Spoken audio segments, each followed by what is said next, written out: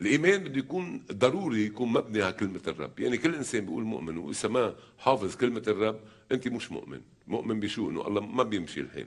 مشان هيك؟ بلش اليوم اعمل خطوة. يمكن منك بتعود تقرأ. لو أنت بتعرف كلمة الرب ما بتكون عم بتحس بضعف وبوجع وبتعب وبهم وهيك. مشان هيك؟ بلش في خطوه يقول له يا رب ما بحب أنا أقرأ وما حدا منا متعود يقرأ وأنا كنت أكثر إنسان بكره القراية وإذا قريت ما بفهم. ولكن وفي ناس ما بتعرف تقرأ عربي ولكن وقت بيكون رغبة قلبك تقرأ الرب بيعلمك تقرأ كلمته آمين. وهيك صايرة معنا كثير في ناس ما بتعرف تقرأ صح. تقرأ كلمة الرب. ما بتعرف تقرأ. جريدة حط جريدة ما بتعرف تقريها. حط الانجيل بيقرأ.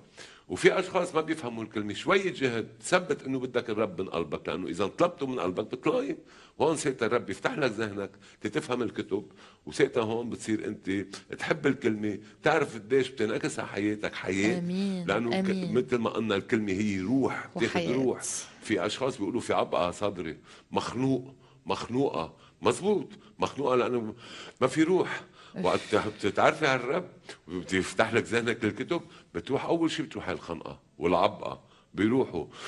بصير خي في هواء أكسجين في روح يسوع. في روح. خدنا نفس. صحيح. مشان هيك بنتنفس يسوع. آمين. وبنلهج بيسوع آمين. وبنفتخر بيسوع. لأنه حياتنا هي يسوع. مشان هيك هون بيقول مربول شو بيقول؟ آه الموت ربح لي. ربح لي. ليه؟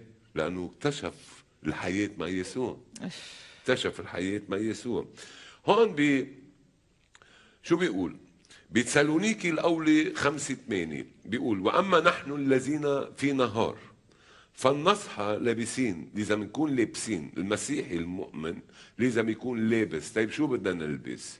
بدنا نلبس ثوب أسود بدنا نلبس ثوب أزرق ب... هي باللبس لا بدنا نلبس شو؟ المسيح. بدنا نلبس درع الإيمان والمحبة. في درع درع بتعمل درع بحياتك ممنوع. شو ما يجيك من العالم ما في يخرقك لأنه أنت لابس درع اللي هو الإيمان اللي عامل بالمحبة لأنه أنت بحاجة إنه تحمي حالك والدرع بيحمي القلب أكثر شيء.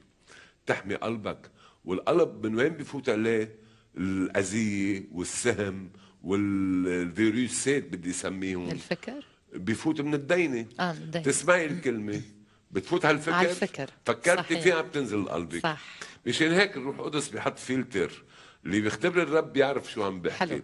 بيسمع الكلمة. حلو الروح. القدس بيرفضها لا. ليش شو بيقول؟ كل من يسمع كلامي يحيا ما بيقدر يقول شو هالحياة بيصير يقول شو هالحياة الحلوة. منو يقول شو هالحياة هيدي اللي عايشينها خلقنا م- مدري إيه؟ خلقت منحوس بكفي منحوس.